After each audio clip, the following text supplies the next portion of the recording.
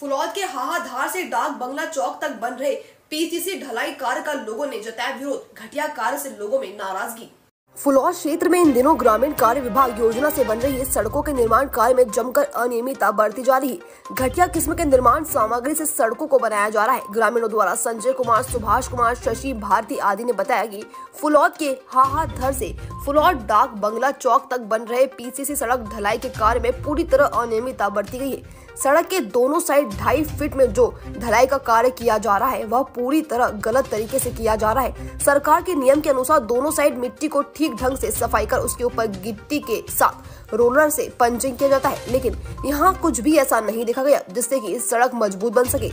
बता दें कि आने वाले कुछ ही दिनों में यह सड़क पूरी तरह टूट कर बिखर जाएगी, जिस तरह चलने वाले लोगों को काफ़ी दिक्कतों का सामना करना पड़ेगा। इस सड़क के निर्माण कार्य में खुलेआम गिट्टी में मिट्टी मिलाई जा रही है। फ़िलहाल इस बात को लेकर उच्च अधिकारियों को जानकारी दे दी गई खास बात ये देखने को मिली की अब जब मीडिया ने कार्य कर रहे मुंशी से गड़बड़ी की बात पूछी तो उन्होंने बताया यह काम पूरी तरह गलत की जा रही है।